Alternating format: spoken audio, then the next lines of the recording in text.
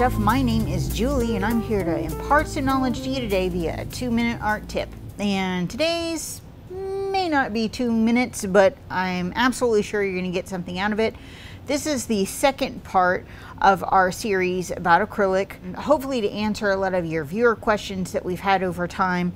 This one is specifically about acrylic mediums. Now, granted, we could do a two-day workshop just about acrylic mediums. So this is going to be a very condensed kind of explanation about the nature of acrylic mediums and how they're intended to be used and how you kind of understand what you're looking at on the shelf. I am showing you a lot of products in the golden line because I feel like they do a really good job at explaining easily what it is that's in the jar or in the tub that you're looking at to try and get what you, the desired effect.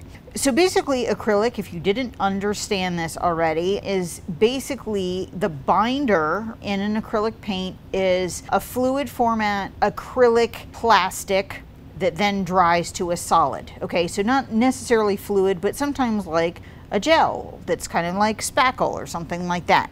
Uh, similar kind of texture.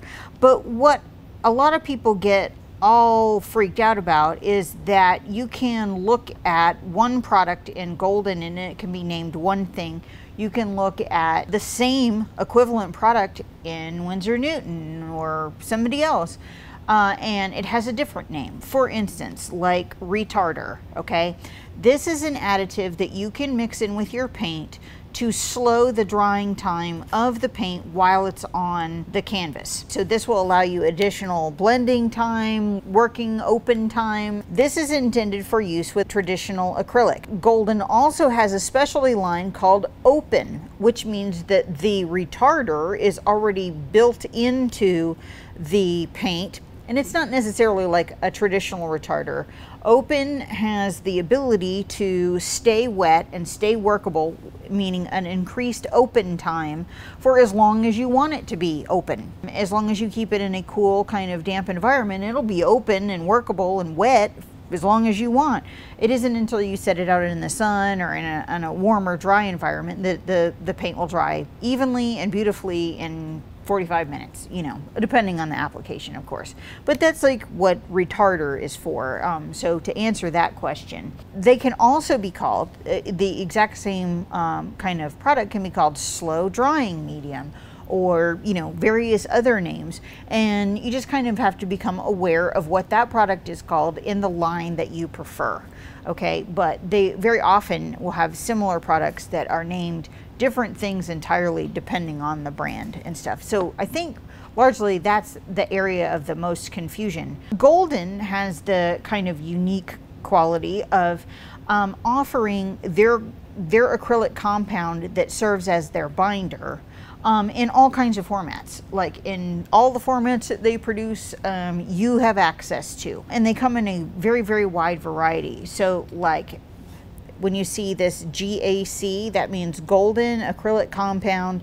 That means that the acrylic that is in this bottle is the binder that they use for fluid. This one is also their fabric painting medium and I love it a whole bunch. I use GAC 900 for all kinds of things. I don't necessarily always use it on fabric, but I can if I want to. So it's an extremely fluid format and I'm going to show you exactly what I mean. So we're gonna, so you can see there exactly like what that looks like.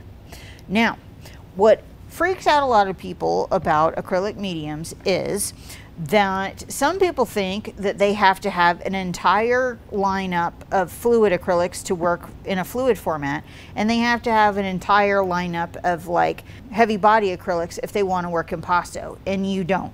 The nice thing about acrylic is that you can change the the consistency of whatever paint that you prefer to whatever consistency that you want. So let's say that primarily you work in a heavy kind of thick buttery impasto format but this time maybe you want to do a little bit of layer The, the, addition of just this one product will allow you to do that. So I'm to get a little bit. This is primary cyan. Okay. I'm to put that down here. And I'm going to take my little palette knife and I'm going to mix it with this fluid here. Okay. And so now we have a completely fluid acrylic right here in just a couple of seconds and we don't we don't have to buy this second line up here okay? Now what if we want to go the other direction? Let's say that most of the time we work fluid okay? So we have a whole collection of fluid acrylics but we want to go the other direction and we want to thicken them up and we want to put some really peaky highlights in or something like that. So, all right, and we're going to take it and we're going to put a smidge down. You can see that it is a fluid. It is not like watery fluid, but it is got a good little bit of heft. All right. Then let's say that we wanted to make it super, super thick with like peaks and everything. We have uh, golden extra heavy gel matte. And what do we mean when we say that? It's extra, extra, extra heavy. Um, I'll show you what I mean here.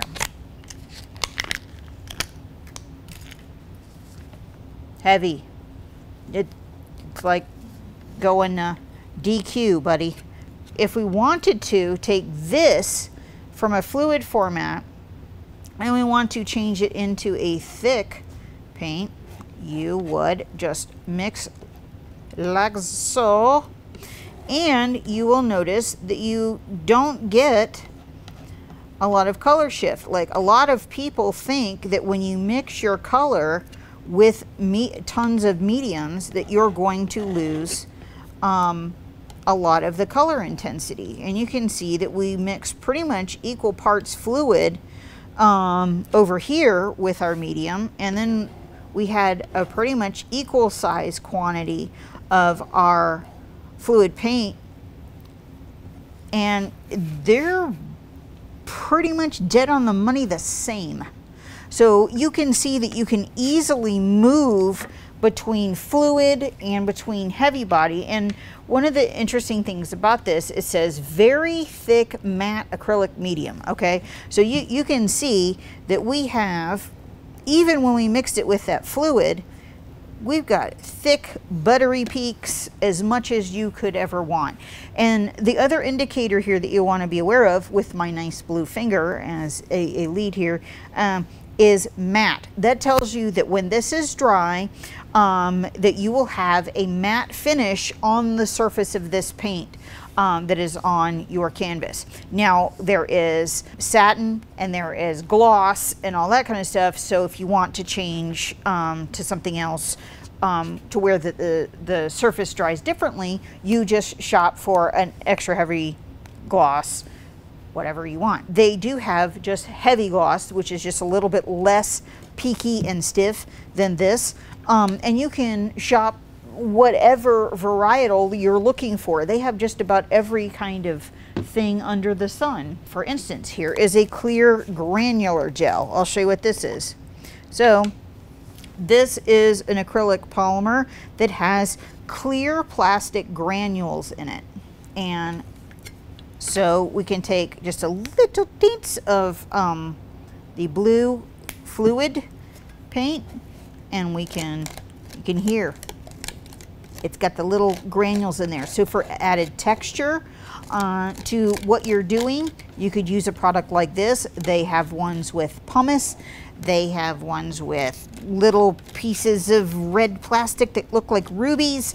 They have glass. They have all kinds of different stuff and with just that easy mixture, you have not only um, a really viable um, peaky paint, but you also have the benefit of some texture in there too. Um, so they have a million different varieties of stuff like this that you can use to mix with your paint to change the consistency, to change the behavior, to change uh, the surface quality of it. Leveling gel is if, let's say that you um, want to make sure that you don't have any kind of lap lines or brush marks in your work. A self-leveling medium will make sure that when your paint dries that you don't have lap lines or brush marks in your paint all of these things are just a myriad, just a small fraction of all the things that are available out there. Um, I also wanted to show you Lake Fiber Paste. Uh, this one is interesting because it has paper fiber in it. Some people like to use this to um, do watercolor on actually. So let's mix just a little bit of this in there. Just one drip will do you. It's really, really concentrated. So this one has another kind of unique texture to it uh, because it has pieces of fiber in there. And so it has a totally different kind of drying quality. You can also get a really interesting peak, but you can also, uh, I don't know if you guys can see it in here, but it has like paper fiber in it. It has its own unique behavior and texture when it dries and stuff like this. There are things for days. I mean, we literally could I could make you paint daubers until you just want to cry. But it's really for you to experiment and play around. Don't be afraid with our 365 day return policy. Hey, you could try it. You might love it. If you don't, send it back. We are all about supporting your interest and you trying out new things. So definitely take a look at um, all of these kinds of products if they interest you. We're here to help. Customer service is here to answer questions. So please feel free to send us your questions, uh, chat or call in. But this just kind of touches on just a little bit about the whole world of um, acrylic mediums to kind of help answer your questions. Tune in for our last segment um, that's called Present, and we'll be talking about finishing with uh, products for um, acrylic. So thank you, and we hope that you enjoy.